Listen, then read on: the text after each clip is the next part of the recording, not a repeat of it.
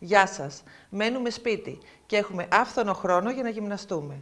Θα χρησιμοποιήσουμε αντικείμενα που όλοι έχουμε μέσα στο σπίτι. Εγώ για εσάς σήμερα έχω δύο μπουκάλια με νερό αντί για δύο βαράκια. Και θα γυμνάσουμε χέρια.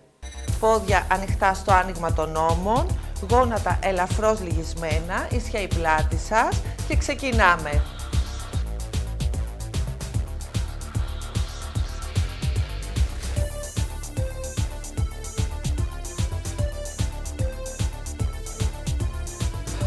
Αλλάζω.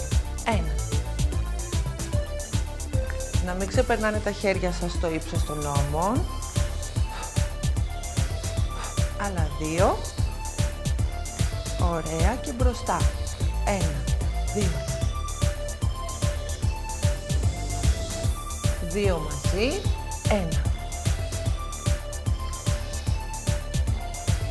Ωραία, αλλάζω άσκηση πάνω. Πάνω διπλό. Πάλι.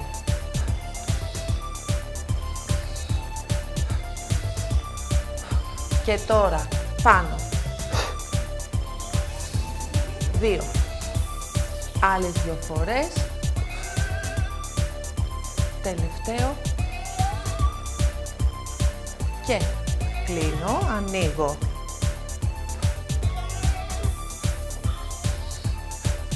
Τέσσερα ακόμα. Τρία. Δύο. Ένα. Και.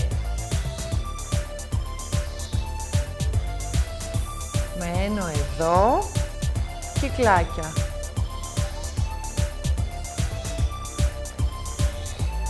Και. Ένα χέρι μπροστά. Δύο. Διπλό. Πάλι.